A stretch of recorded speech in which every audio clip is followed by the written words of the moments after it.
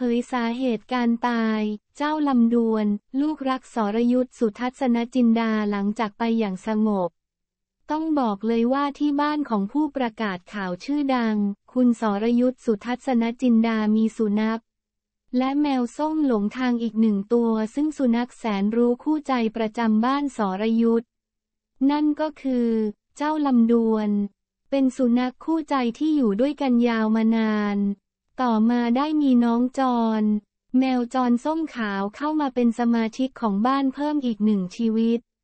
ซึ่งล่าสุดสรยุทธต้องประกาศเรื่องเศร้าผ่านทั้งอินสตาแกรมและเพจเฟซบุ๊กของตนเอง โดยแจ้งว่า ลำดวนจากไปแล้วเมื่อเช้านี้ครับ ซึ่งหลายคนพอจะทราบว่าลำดวนอายุมากแล้วและป่วยมาสักพักแล้ว ก่อนที่จะกลับดาวหมาไปเมื่อช่วงเช้าที่ผ่านมา วันที่ 19 พฤษภาคม